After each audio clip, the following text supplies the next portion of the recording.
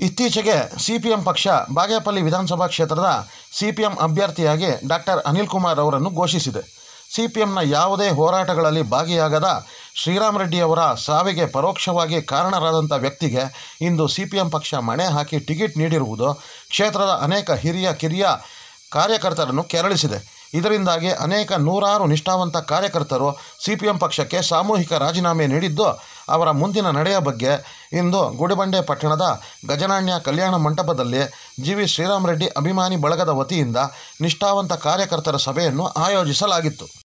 ಹುಟ್ಟು ಹೋರಾಟಗಾರ, ಮಾಜಿ ಶಾಸಕ ದಿವಂಗತ ಶ್ರೀರಾಮರೆಡ್ಡಿ ಅವರ ಸಾವಿಗೆ ಕಾರಣರಾದ ವ್ಯಕ್ತಿಗೆ ಇಂದು ಸಿ ಪಿ ಎಂ ಪಕ್ಷ ಟಿಕೆಟ್ ನೀಡಿದೆ. ಹೋರಾಟವನ್ನೇ ಮಾಡದಂಥ ವ್ಯಕ್ತಿಗೆ ಮಣೆ ಹಾಕಿ ನಿಷ್ಠಾವಂತ ಸಿ ಪಿ ಎಂ ಕಾರ್ಯಕರ್ತರ ಕತ್ತು ಕೊಯ್ದಿದೆ. ವೈದ್ಯ ವೃತ್ತಿಯನ್ನು ಅರಸಿ ಬಂದ ಡಾಕ್ಟರ್ ಅನಿಲ್ ಕುಮಾರ್ ಬಂಡವಾಳ ಹಾಕಿ ವ್ಯಾಪಾರ ಮಾಡಲು ಬಂದಿದ್ದಾರೆ ಸಿ ಪಿ ಎಂ ಪಕ್ಷದ ಸಿದ್ಧಾಂತಗಳನ್ನು ಗಾಳಿಗೆ ತೂರಿ ಸಿ ಪಿ ಎಂ ಕಾರ್ಯಕರ್ತರನ್ನು ಭ್ರಷ್ಟರಾಗಿ ಮಾಡುವ ಹುನ್ನಾರ ಹೂಡಿದ್ದಾರೆ ಎಂದು ಸಿ ಪಿ ಎಂ ಪಕ್ಷದ ಮಾಜಿ ತಾಲೂಕು ಕಾರ್ಯದರ್ಶಿ ಎಚ್ ಪಿ ಲಕ್ಷ್ಮೀನಾರಾಯಣ ತೀವ್ರ ವಾಗ್ದಾಳಿ ನಡೆಸಿದರು ప్రదేశాల్లో మీ పొలుగులో మన జనాలతో కూడించి వాళ్ళ అభిప్రాయాలు సేకరణ చేసి ఇది వైయక్తికమైన విషయాలు కాదు నాకే వైయక్తికమైన విషయము నేను ఎవరో స్క్రిప్ట్ కాదు నన్ను అందరూ లీడర్లు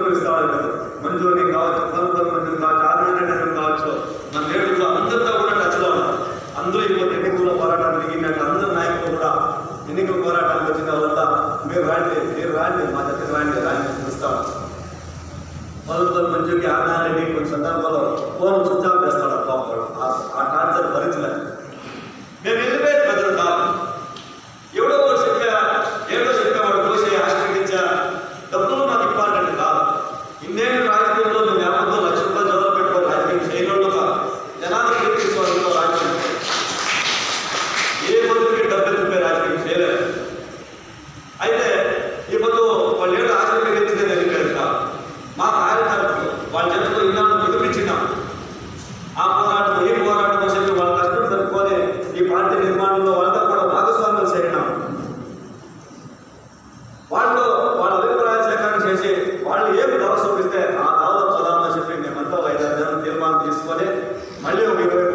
ಈ ಸಮಯದಲ್ಲಿ ಸಭೆಯಲ್ಲಿದ್ದ ಕಾರ್ಯಕರ್ತರು ತಮ್ಮ ಗ್ರಾಮದ ಜನರೊಂದಿಗೆ ಚರ್ಚೆ ಮಾಡಿ ಅವರ ಅಭಿಪ್ರಾಯ ಹಾಗೂ ನಿರ್ಧಾರದಂತೆ ಮುಂದಿನ ಚುನಾವಣೆಯ ಹಾದಿಯನ್ನು ನಾವು ತಿಳಿಸುತ್ತೇವೆ. ಜನರ ನಿರ್ಧಾರವೇ ನಮ್ಮ ನಿರ್ಧಾರ ಎಂದು ಮುಖಂಡರು ಹಾಗೂ ಕಾರ್ಯಕರ್ತರು ತಿಳಿಸಿದರು.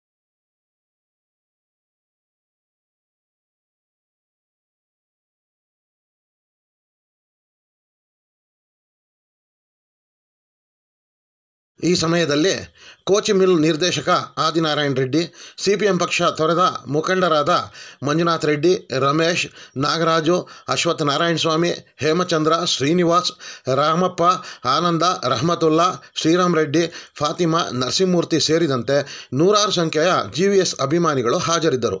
ದೂರವಾಣಿ ಗಂಗಾಧರ್, ಗುಡಿಬಂಡೆ.